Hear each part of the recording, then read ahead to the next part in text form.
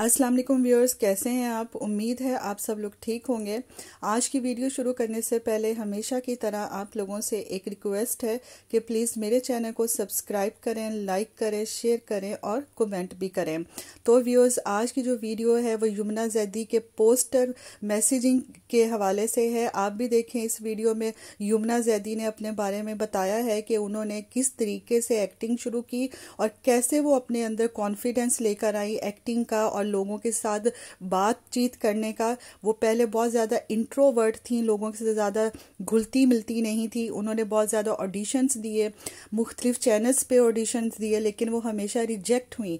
लेकिन उन्होंने हिम्मत नहीं हारी और वो अपने इस जज्बे को एक्टिंग के जज्बे को साथ लेकर चलती रहीं कि वो इसमें कुछ ना कुछ करके दिखाएँगी लोगों को। उसने कहा है कि मैंने कभी भी ख्वाब देखना नहीं छोड़ा है, क्योंकि मुझे पता है कि ख्वाब ही देखूँगी तो पूरे होंगे।